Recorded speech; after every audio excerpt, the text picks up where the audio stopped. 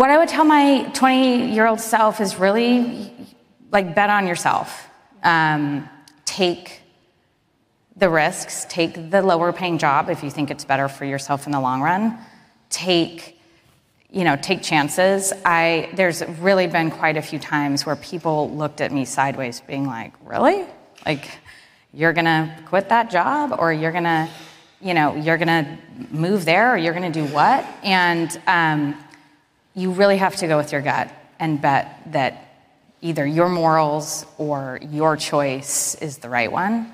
And I think, you know, over time, that really uh, it will pay off for you in the long run.